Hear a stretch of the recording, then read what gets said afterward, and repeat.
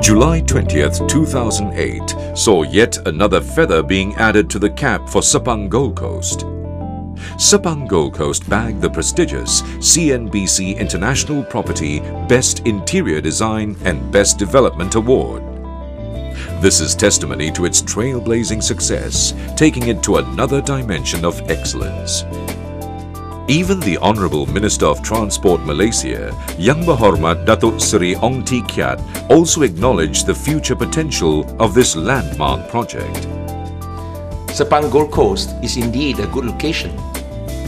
With its uh, proximity to KLIA, which is now the main hub for aviation services in Malaysia and the region. I'm quite confident to say that end of the day, this is going to boost further the capacity handling of uh, KLIA and certainly this is going to be a boon to our Malaysian economic development in due course.